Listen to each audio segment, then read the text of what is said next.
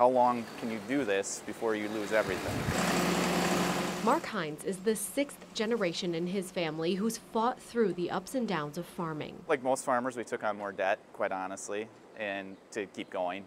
And that's kind of your only option at that time. But low milk prices have brought losses unlike any other. That's all we've known is this is a dairy farm. So uh, it was really hard. The dairy side of our business was failing and it was dragging everything else down. Um, so, so that's why for us we had to make the difficult decision to sell our cows.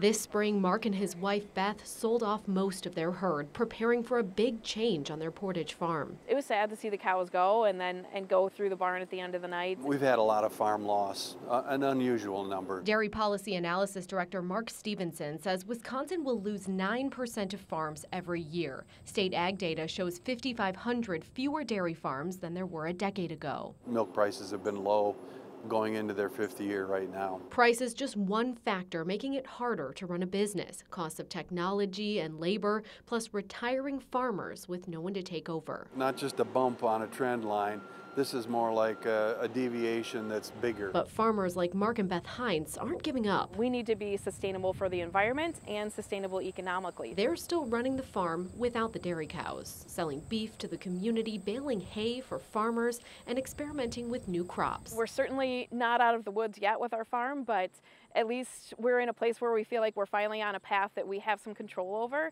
and um, are optimistic about the future. Holding out hope their sons can continue the Heinz legacy. Things are tough right now, but this is when this is when the most opportunities come by too.